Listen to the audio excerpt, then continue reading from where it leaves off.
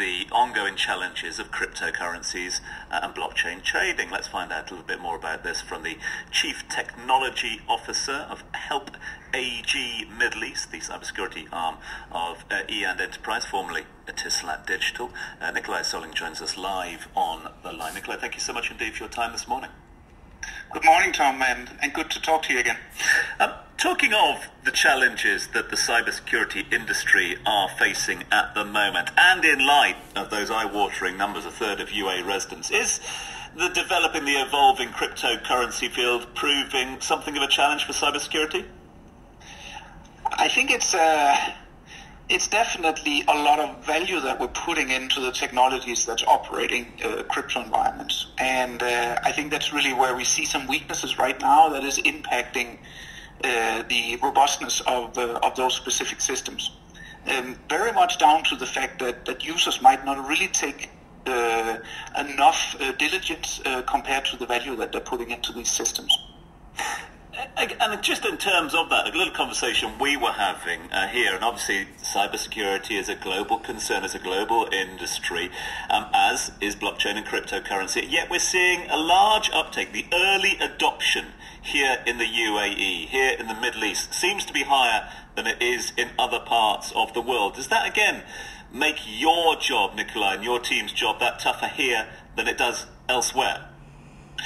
No doubt that the UAE is uh, is a nation which is really, really in love with technology, uh, not just from the private side, but also the government. We have a very, very digital uh, uh government uh, here in the in the region, and that you know, gives us a lot of capabilities as a society, but it's also an area that is impacting the uh, the impact of, of cybersecurity.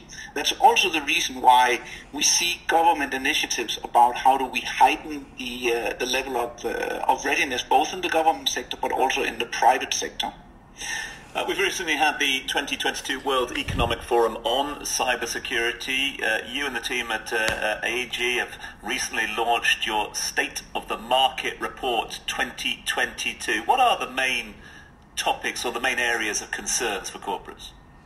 Well, I think first of all, uh, if you want to put an, a, a, single word on it, it would be more. We see more and more cyber attacks. Um, ransomware and phishing is two areas which is really, really concerning to organizations. Ransomware being this type of attack where um, attackers they go in and encrypt your file and hold them ransom so that you have to pay a ransom in order to get access to them again very often utilizing cryptocurrencies as the payment form in those specific scenarios. Um, and then specifically, if you drill down here to the UAE, we see a lot of attacks around the availability of the IT infrastructure. This is what we call DDoS attacks. And, uh, and every single day we see thousands of attacks. Actually, every third minute we start to mitigate a new unique attack on some kind of infrastructure here in the UAE. So these are really, really staggering numbers. In, in, terms of those numbers, Nicolai, often we hear uh, of some of the high-profile cases, etc. But in terms uh, of uh, the number of attacks, are we seeing the number of attacks going up as well? Yes, there's two elements that's happening right now. First of all, the frequency of attacks is increasing, and the other thing is that the sophistication of attacks is increasing as well.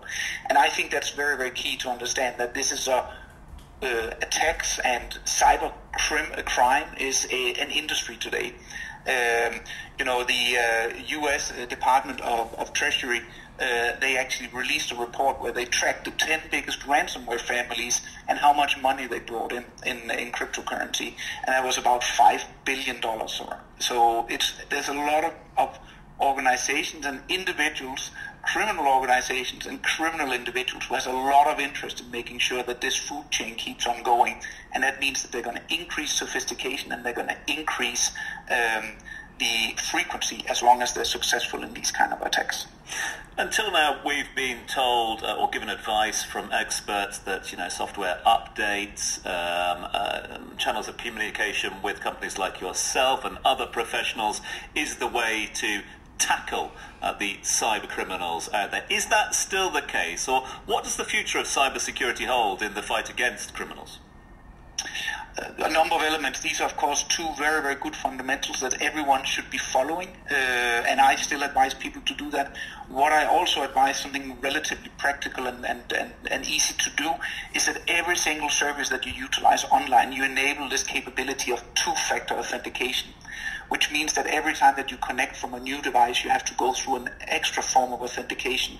I know that it can be a little bit challenging for people to, to set this up, uh, but uh, it's, it's really important that you get it done. Specifically, if you're also trading in cryptocurrency and you're having a lot of value in sitting in your IT systems and sitting in the services that you're utilizing, you should really take the responsibility of being able to, uh, to handle this kind of technology. And one of the key things here is two-factor authentication can be set up in all of the popular services today, like LinkedIn, Facebook, your Google, your uh, Outlook, and all of these different kind of things. And it's just a question of going in and enabling those things.